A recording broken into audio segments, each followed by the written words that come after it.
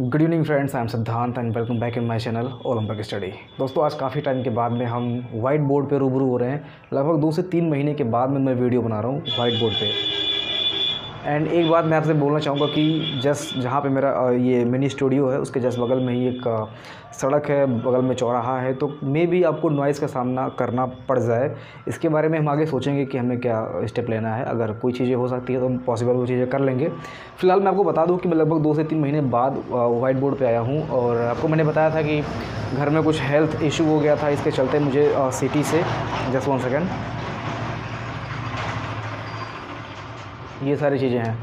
सो so, मैंने आपको बताया था कि कुछ हेल्थ इशू घर में होने की वजह से मुझे सिटी से अपने घर पे आना पड़ा अपने गाँव पे आना पड़ा। और इसी के चलते मैं यहाँ पे अभी क्या है ये लगभग दो से तीन महीने का प्रोसेस है। दादी जी को मैंने बताया था कि पैरालिसिस अटैक आया था तो दो से तीन महीना लग जाएगा अभी इसको सही होने में। तो मे भी अभी यहाँ पे मुझे रुकना पड़े सो मैंने इस चीज़ को यहाँ पे सेट कर दिया है और लगभग यहाँ पे मैं जो दो से तीन महीने अगर मैं रह रहा हूँ तो यहीं से मैं आपको क्लासेस देता रहूँगा, ठीक है? सो थोड़ा सा मैं आपको बात करना चाहूँगा आज। जैसे कि मैंने आपको बताया कि पेट के मुद्दे पर मैंने बात की थी रीओपन संबंधित, कि जो रजिस्ट्रेशन डेट है उसको रीओपन किया जाए या फिर जो डेट है उसको बढ़ाया जाए। स्टार्टिंग से मैंने कैंपेन को हैंडल किया था और मैंने नहीं किया था मैंने आपको अपडेट किया था, बराबर अपडेट किया था, जैसी चीज़ें हो सकती थी। प्लस जो भी चीज़ें मेरे से हो सकती थी, मैंने भी वो चीज़ की थी ऐसी बात नहीं है मुख्यमंत्री पोर्टल वगैरह पर जाके हमने भी लॉगिन करके शिकायत दर्ज की थी। कैंपेन चलाने की कोशिश की, बहुत सारी चीज़ें हाई कोर्ट वगैरह की जो भी प्रोसेस थी, उसको मैंने आपको डिटेल में बताया था कैसे कैसे क्या होता है। बट गवर्नमेंट की मंशा क्या थी ये आपको पता है और इसी के चलते डेट अभी तक एक्सटेंड नहीं हुआ है, ना फिर कोई ऐसी सूचना है कि रीओपन होगा, या फिर अभी ये भी सूचना नहीं आई कि जो लेखपाल का एग्ज़ाम है वो फ्री होने की संभावना है।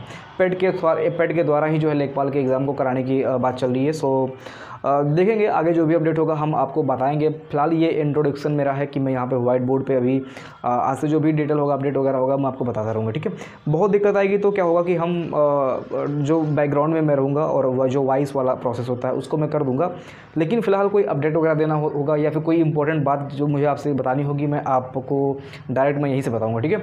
सो अभी तक आपने चैनल को विज़िट नहीं किया है तो प्लीज़ चैनल को विज़िट कर लीजिए और यहाँ पर हम लेखपाल या फिर ग्रुप डी से संबंधित जो भी क्लासेस स्टार्ट होंगी, मैंने अभी पोल पर डाल दिया है। पिछली बार मैंने पोल कराया था तो उसमें लगभग 75 परसेंट बच्चों ने लेखपाल के पक्ष में वोट किया है। कि सर जो लेखपाल की क्लास है, उसको स्टार्ट किया जाए। अभी मैंने जस्ट आज ही पोल करवाया है, उसमें भी लगभग लेखपाल का जो है, वो प्रोसेस आगे चल रहा है। 65 परसेंट लगभग जो है बच्चे, वो लेखपाल के पक्ष में हैं। एंड जो रिमेनिंग 35 परसेंट बच्चे हैं, वो आर आर और ग्रुप डी के प्रोसेस ग्रुप डी के फेवर में जा रहे हैं। तो जैसा भी होगा, अगर आपको भी पोल में पार्टिसिपेट करना है तो आप भाग ले सकते हो। जैसा भी होगा, वो हम आपको बताएँगे कि हमें किस चीज़ की क्लासेस स्टार्ट करनी है या फिर दोनों की स्टार्ट करनी है। जैसा मुझे समय मिलेगा, मैं आपको बताता रहूँगा, ठीक है? फ़िलहाल क्लासेस जो भी होंगी, वो मैं आपको ध्यान में रखते हुए बनाऊँगा क्योंकि मुझे पता है कि बहुत सारे बच्चे पेट का फॉर्म नहीं डाल पाए हैं। तो ये जो वैकेंसी है ग्रुप डी की वैकेंसी है ये इनसे छूटना नहीं चाहिए। किसी भी हालत में नहीं छोड़नी चाहिए क्योंकि इनके पास ऑप्शन और कुछ नहीं बच रहा है। जो सी बी टी टू का है उसमें अगर आप C B T one cross किए होगे आपने क्रैक किया होगा तो फिर आप सी बी टू टू तो दे, दे, देने पाओगे। अदरवाइज़ फिर आपके पास बस एक ही सुनहरा ऑप्शन जो मैं कह रहा हूँ स्वर्णिम ऑप्शन जो आपके पास बच रहा है वो जस्ट ग्रुप डी का बच रहा है। तो इसको हम हाथ से जाने नहीं देना चाहते हैं, क्योंकि पेट का जो फॉर्म है वो आप लोग डाल नहीं पाए हो लेखपाल की वैकेंसी में आप लोग अपेयर नहीं हो रहे हो। तो इस चीज़ का दुख मैंने आपको कई बार व्यक्त किया है कि मैं आप लोगों के साथ में हूँ।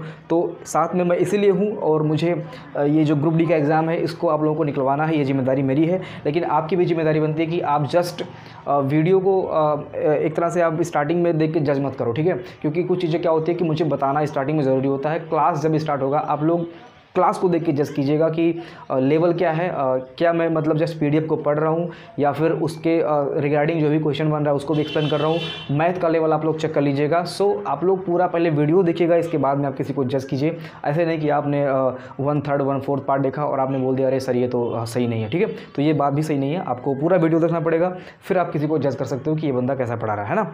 सो वीडियो को बहुत लंबा नहीं करेंगे। ये जस्ट इंट्रोडक्शन वीडियो है और क्लास में आप लोग बने रहिए। मैं डालूँगा वीडियो, अपडेट कर, अपडेट करता रहूँगा। कल परसों से रेगुलरिटी कंप्लीट रेगुलरिटी स्टार्ट हो जाएगी। जैसा जैसा कि आपको पता है कि अभी लेखपाल का सिलेबस भी नहीं आया है। तो हम लोग वेट कर रहे हैं कि सिलेबस आ जाए। इसके बाद में हम लोग क्लास स्टार्ट करें, है ना? सो अब जैसा कि अभी आपको पता है कि रीजनिंग का जो पार्ट था, वो अभी तक इसमें नहीं हुआ करता था। अगर रीजनिंग भी इसमें इंक्लूड कर देगा तो रीजनिंग भी आपको थोड़ा बहुत बताना पड़ेगा। सारे में नहीं, सारे में नहीं बताऊँगा। आपको पता है कि रीजनिंग ईजी सब्जेक्ट है। सारे नहीं क्लॉक में या फिर कैलेंडर में या फिर जो ब्लड रिलेशन वगैरह हो गया, उसमें जो टफ क्वेश्चन आते हैं उस उसकी मैं प्रैक्टिस करा दूँगा आपको। इजी क्वेश्चन तो आप खुद कर कर लोगे मुझे पता है कि आपका दो, दो चार साल का एक्सपीरियंस है ना? ज़्यादा नहीं बोलूँगा फ़िलहाल है। सो so, मिलते अगली वीडियो में बहुत लंबा नहीं करेंगे। मिलते अगली वीडियो में। जय हिंद।